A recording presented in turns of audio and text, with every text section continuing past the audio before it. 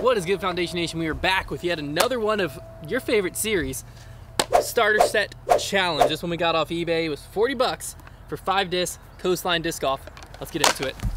Boom! You're staying home. You're bored. You got nothing to do, but you have a phone. So what do you do? Boom! You're in the middle of the ocean. You're stranded. You have three days of food and water, but you also have a phone. What do you do? Boom! You're locked in a missile silo. There's 10 minutes left before it launches, but you only have your phone on you. What do you do? Trick question. The answer is the same for all three. You play Raid Shadow Legend. That's right. let me Raid- know, man. Shut up, man. So every great game has something near the end that's really difficult to get to that you can really dig your teeth in if you want to master it. And in Raid Shadow Legend, it's no different. That end game is the Doom Tower, and let me tell you, it is one heck of a ride. So this huge tower is essentially a giant prison. See, the Arbiter a long time ago found a pack of really bad guys. Wasn't quite strong enough to beat them by herself, so instead she just locked them all in this tower so she could deal with them later. Well, it's been a few thousand years now, so I guess we kind of know how that plan went. But what's even worse now is now that Seraph's leaking back in the world, the Arbiter doesn't have the power to keep the wards up. So it's us to, up to us to actually go in there, knock some heads together, and get things right in the Doom Tower. To climb to the top of the tower, you're really gonna need a super strong army of champions. If you have enough support, the main levels, they're really easy, but the bosses, they're no joke, and you're gonna be really happy you have that strong army surrounding you, because if not, it's not gonna go so well for you. A couple of the bosses even require very specific mechanics required to beat them. One of these is the Scarab King. He actually takes basically no damage unless you reduce his max HP, and if you have no shield buffs on, he's just gonna literally run right through your entire team. I could go on for ages about the ins and outs and the secrets of how to fight these bosses, but the real fun is getting in the game and figuring it out for yourself. There's also a ton going on in Raid this month. They have a new event pretty much every single day, including an entirely new event for the summer solstice. This event is called the Path of Light, where you're basically able to explore three different paths and chase down that reward that you want the most. There's also some brand new champions coming out and a whole new set of skins. I really just can't wait to get my hands on all this new stuff. But wait, there's actually more going on. Raid's actually running this super special event called the Deliana Chase event, where you can have the opportunity to get your hands on Deliana, which is a legendary champion from the High Elves faction. All you have to do is log in and play Raid for seven days from now till July 20th, and you'll get Deliana for free. That's literally it. Just play the game. Now is literally the best time to start playing Raid. If you check the link in the description down below or scan the QR code here on the page, you'll actually get a bonus pack worth $30. It's available for new players only for the next 30 days. You're not gonna wanna miss that out. It includes a free epic champion, 200,000 silver, one energy refill, and one XP boost, and one ancient shard so you can summon awesome champions as soon as you get in the game. All this treasure will be waiting for you right here. And the gifts just keep on coming. New players, be sure to listen up. When you want to get in the game, you want to use the code MyDeliana to get 50 XP so that as soon as you get your legendary hero Deliana, you can upgrade her straight to max level 50. You also get a ton of silver and other stuff. So be sure to check out the link, use the QR code, and use the code MyDeliana.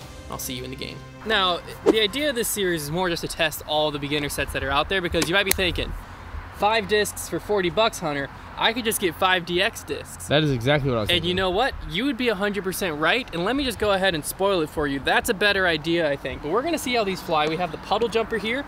Putter actually doesn't feel that bad. Kind of feels similar to like a Warden, I would say. I like the stamps. No, I think it's like a DX Aviar. no, it's not as sharp on the edge. All right, never mind. DX Aviar and a Warden had a baby. That's called a puddle jumper. That's true. Fuselage, All right. That feels okay. beadless rock, Shark, basically. torque, fuse. This is gonna be way more stable than that, but okay. You think it's gonna be more stable than a I fuse? I think it's gonna be an overstable disc. Jet setter. I mean, Love that. that Let me see thing, that- let me see I, the profile on that. really. That's the borium, That's something. right? It is a little rounded on the bottom. the Luft. Ooh. discs It is a little. It is It a little bit. rounded. Uh, and then the propeller. This feels like a leopard. Yeah. So that's what we have out here. We're gonna flip. Uh, Trevor's gonna be heads. I'm gonna be tails. Whatever lands on, we get to pick. We only have one set, so we get to pick um, who gets to select the disc first. Then from here on For hole out, one. whoever loses the hole gets to pick first on the next hole. That way, if there is a disc that's like OP'd, it doesn't always go OP'd. to the same person. oh, I peed. Heads, it's Trevor. Suck it, dude. I'm just gonna throw the puddle jumper. Yeah? I'm gonna take it wide out there, let the hillside play. You know, it feels light. I'll It's, be honest with you. I'm. I kind of like the plastic. it feels To be fine. just straight up with you, I I, kind of like like it. it. What would you compare it to? I don't dislike it at all, actually. There's nothing wrong with it. I don't really know. It's kind of almost Yeah. XT-ish. A little bit. Yeah, like yeah. XT and DX, like in between there. XT and DX had a baby, maybe. Yeah. There's a lot of babies being had right now. Hey, it's booming season.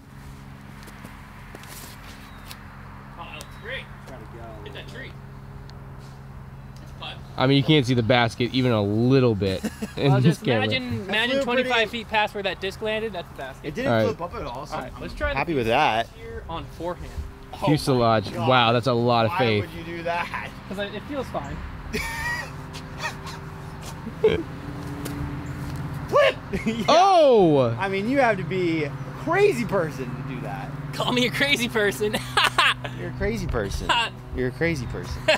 Here's the deal. This wasn't intentional, but um, I rolled my wrist really bad on that drive. So I think I made this disc look a lot flippier than it actually is. Gonna keep that in my back pocket. Might come in useful later. Dang. Not the way you want to start one of these challenges.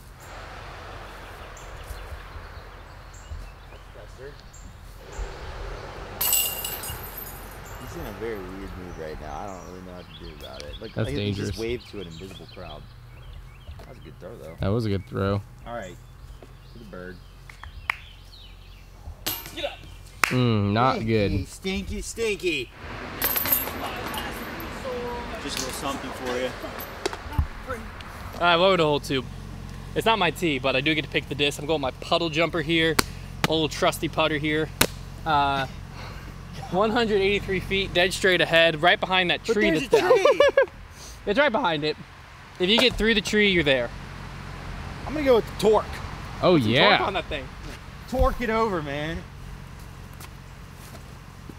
Oh, actually can handle it. Is that an dang.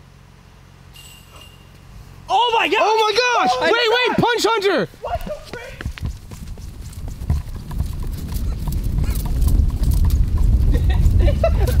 What the frick? Insane! I saw him in the cage! Are you kidding me? Oh my god! No! Oh my god! Wait, is it you that gets the Punch Hunter? No, he gets the punch. Okay. Thank goodness. Oh my! oh my gosh! Why did that tree have to be down? We can't even see it. Starter back. This is You stay up here, I'm gonna ace it. Alright, cool.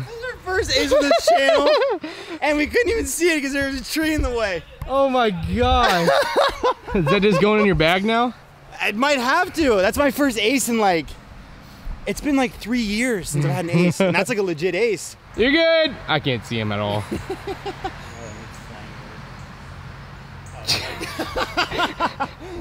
Straight to those woods. Wow, so special. Oh my gosh. Oh my gosh. Oh my gosh. Gosh. That almost went in. You guys got one of those Atlas shirts that says aced? Because No. Trevor needs one. We don't. We should. Yeah, we actually. Available at atlasdgs.com, but don't tell anyone I promoted it on this channel because, you know. That's In other news, I'm gonna take. I'm gonna take pretty big- three strokes. It's a pretty big swing right there. I'm down four through two. That's all right. I'm just keep getting to pick my disc. Yeah, you just want to try them. That's yeah, fun. that's uh, that's all. All right, gotta interrupt the video real quick. As you may know, we have a goal of reaching 100,000 subscribers by the end of the year. And since we announced that goal last week, we've already gained over 1,000 subscribers, which is over $50 donated to charity already. Again, if you subscribe, it's 5 cent, a nickel for every subscriber gained from now to the end of the year donated to charity.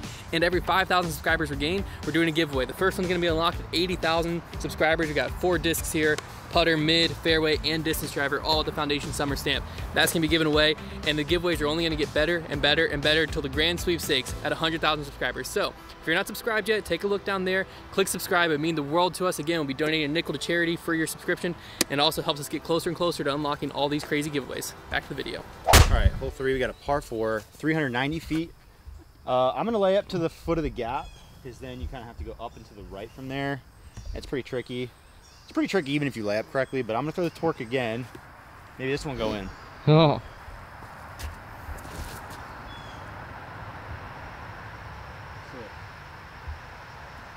It flies very nice on it's that little It's very forehand. glidey. It's a little, yeah, it's a little push glide. I like that. All right, time for my jet setter. When I threw it on that little forehand flex line back there, it only went like 100 feet, so it doesn't really tell me much, but it seemed kind of stable. So I'm gonna just throw it on a hyzer forehand. If it flips up, it turns over. That's fine, I'm okay out there. If it hyzers out, that's fine, I'm okay in there. So it's just a good learning experience with this disc. Mm. Okay, that disc is kind of sick. It didn't really do either of the things I thought it was gonna do. So I forgot the middle option, which is jail. And that's where I am. But the disc was actually kind of sick, somewhat stable. First throw with the uh, propeller as well. The propeller. The propeller. Oh, it flips a lot. Mm. Oh my goodness, it flips a lot. It's got it's got some flip to it. How's that? It's super flippy. It turned way left. Oh gosh, that wasn't good. All right, we're gonna go hero shot here. I don't really have much. I put my puddle jumper in place of the jet setter because I thought I was gonna throw it, but I'm not going to. Uh, basket's kind of that way, so it gives me, I can have my foot like here, and then I'm gonna just have to try to hit this little window on anhyzer. Oh, Mm. well, I mean, there's no other option. That's gonna. Go. Gosh! I went straight in between my legs. that did not. Not. That did not make it far. Mmm. Not gonna like that. That hurts. It's always, it's always tough seeing the great ones fall after a moment like that. That's kind of what I was thinking. I'm glad you said it. What did you take on this hole? Nothing yet. What are you putting for? Four. Two. Some, some. So what are we talking You're about? falling apart, Trevor.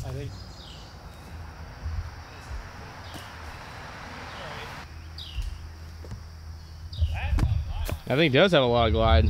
That's Mm. Good looking putt. You grab that basket for me. Yes. All right, gained a stroke back, still down three. That's not bad. But hey, you gotta start somewhere. I'm gonna go on the jet setter here. Trevor got to pick his disc first, and he picked. He just stepped on it. He originally picked the fuselage. He said he might go propeller. Either way, he doesn't want the jet setter, which is what I want. So that's what I'm going. What is a jet setter? You would like to know, wouldn't you? Jet Okay. setter. That's gonna be sick. Oh, that's gonna be. Too. Oh, it is. kinda- Sorry Oh. Fine though. That got way down there. Yeah, except the fact that Is that Hunter's Hades? Is it? I mean, hunter can answer that question. I question. think it'll be Can't more to ask him. exciting if I throw the propeller, so I'm gonna do this for the excitement factor. Nice. I could just try and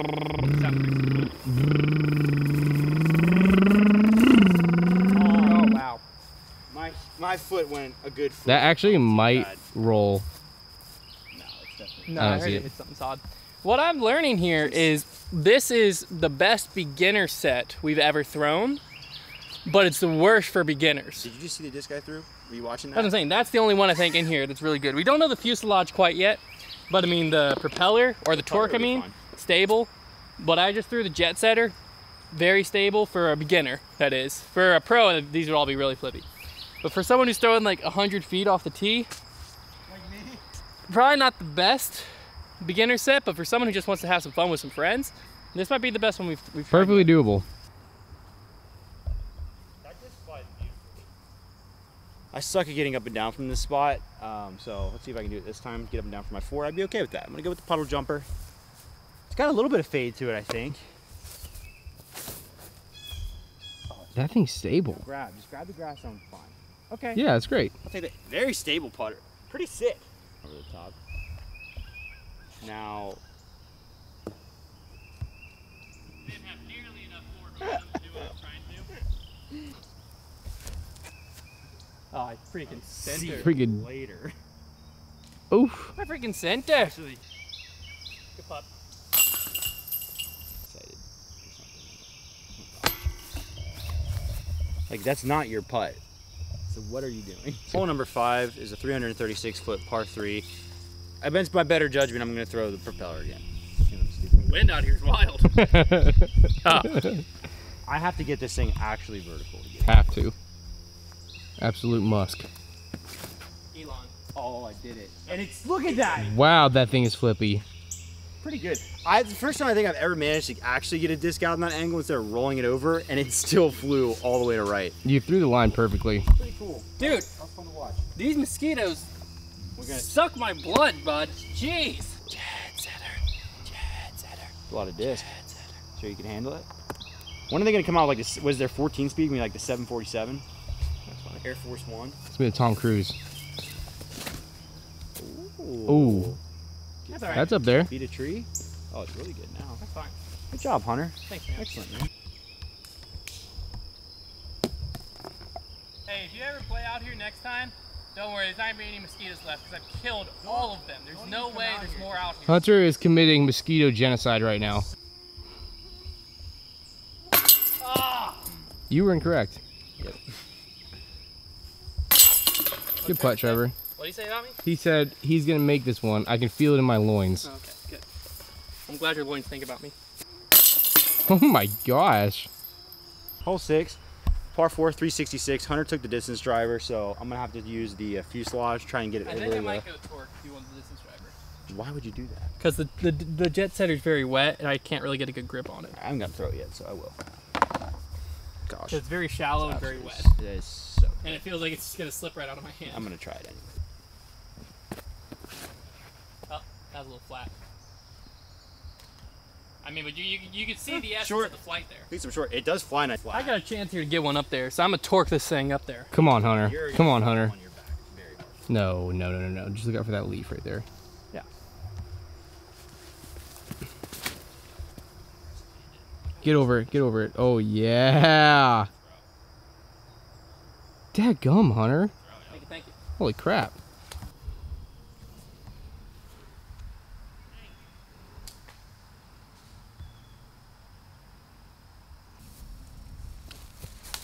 Oh. Nice shot. All right, you're good. It's a all right. 432 foot par four. it curves around to the right down there. Go with the propeller here on a lot of hyzer and a lot of height.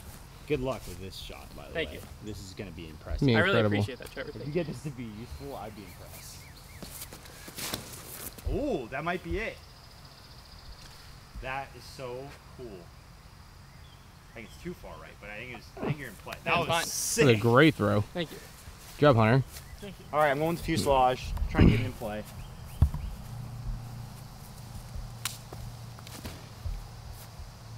Oh, kind of died. Absolutely murked a mosquito in the middle That of the disc just kind of fell to the ground. That was interesting. I Yeah. think I might have given it a little too much nose down. Gosh. Chop. Ow! Right? Gosh! That's a That stroke. counts. That counts. I agree. I completely agree. That means I got a putt to get within one. Oh, man. Dang. Come on. What a two. I like to let them get close. All right, we're looking at a 306 foot par three. Basket's on the right there. Trevor took the driver, so I got to go something that I know I can work here. We'll go with the torque on anhyzer. Hunter, don't you know that you don't throw anhyzers? I'm about to. Wow. It's about to be darn You are good. so brave. You are brave. Watch out for the tree early in the bush. Oh, that's going to be fantastic. That is absolutely parked. that disc is sick. The little ring around the basket. That was sick. Ow! I got a The park torque disc. is meant for some torque. Torque is like if the Buzz and the Rock Had a were like way better. I freaking squandered my. That's not flipping. That might be the road. I think stable. Hunter really got you on hole one. We're gonna be tied with one to play. That's exciting. Oh, went for it. You didn't throw it in, Trevor. Sure didn't. That putter is really nice in my hand. I'm not gonna lie to you. These discs are pretty sick. They're really good, honestly. All right, it's all tied up with one to play. It all comes down to this: 204 feet to decide the be- the co- the coastline disc golf beginner pack, starter pack, challenge champion. The coastline open. All tied up. The coastline open six hours from the coastline. Uh, all tied up. Baskets in the left position. Connor's doing his little Irish jig, getting the skeeters off him. I'm Dude, going that's racist, setter. dude. I'm not Irish. You don't have to be Irish to an Irish jig. I'm just kidding. I am Irish. Oh, okay. Going my jet setter. Trevor picked the putter. For Thank him. you. I'm sorry. This is the worst filming I've ever done in my life right the now. mosquitoes are awful. I am getting destroyed by these mosquitoes. Ow. All right. Or in. Could you imagine if that That went was in though? okay. I think that's fine. I never. I suck at this hole, so we'll see. You guys think that's gonna be any good? No. Well, you're not particularly good at this hole. I grip locked it so bad. Gotta throw this in if I want to win. Crushed it. Dang, that I thing- think that was a bad decision, Trevor. I'm not gonna lie to you. I wanted to try and win it. Oh gosh. Gosh. That was terrifying. All right. Well, there you have it. I'm That's trying the to clap. coastline disc golf Dude, the starter coastline set discs challenge. Not gonna lie to you, pretty sick. This is basically a diamond. That's kind of like a Zeus. Propellers like a rock. If I, I'm gonna be honest here. If I were doing a starter pack challenge and you gave me the choice between this set of five and any other starter set that's on the market, I don't know if there's one that's better. Well, I think I'm picking like a Discraft Premium starter set or Innova Premium starter set. We 'Cause you also, give me haven't, like we a, also haven't tried the Kastaplast starter set. yeah. Well, if you Okay, baseline though. baseline, Baseline. baseline. I think I'm picking. I'd be, I'd be I thinking about take- picking these. Value wise, this over a 150 leopard avian say, shark. I would take this. value wise, because the only thing you're gonna be able to beat value wise with this is like the baseline starter sets, But and those 30 a lot of three discs. times. Those are ten dollars a disc. Well, a lot of times they're either like that or they're also like 150 gram DX, Valk, Leopard, Avenger SS. The mids, the putter, and the one. There's only one disc in here that is like a little unusable. Everything else was like stellar. But if you're a true beginner, like you're like, I've never played disc golf, I want to pick I something wouldn't up, get it. don't go here. Yeah. Go like Innova Discraft Trilogy Starter Set. You're gonna be a lot more happy. But if you're just like someone looking for a good time, and you know you and your buddies want to go out and try some weird dish you've never heard of, check these things out. Look at the okay, disc. beginner friendly. I'm gonna go. I'll give it like a four. Four out of ten. No, I, I was going give two. it. I would give it a. Yeah, I would say two or three. I was thinking two because there's only it's pretty. there's is pretty basically bad. the putter you could call beginner friendly. It was pretty stable. The You- propellers you beginner could- friendly. You could throw the this, fuselage would be meh. but even the putter's like. too None of them are that. None of them are very usable for beginner. Overall throwability out of 10, their baseline got to take some points off. I'm gonna go like a 7.5. But not bad baseline. Yeah. No, it's not bad baseline, but it is still baseline. I agree with that. I agree with that. So 7.5 plus three. We're, we're looking I at about a five I out of think 10. you can only find these on eBay, so if you want to try them, that's where you're gonna have to look. Yeah. That's the only place I saw them. All right. And we'll have to see if we can make a Trevor Staub signature We're gonna have to get a. Tre- Trevor Staub propeller. Torque. torque. Trevor Staub signature torque. We'll see you in the next one.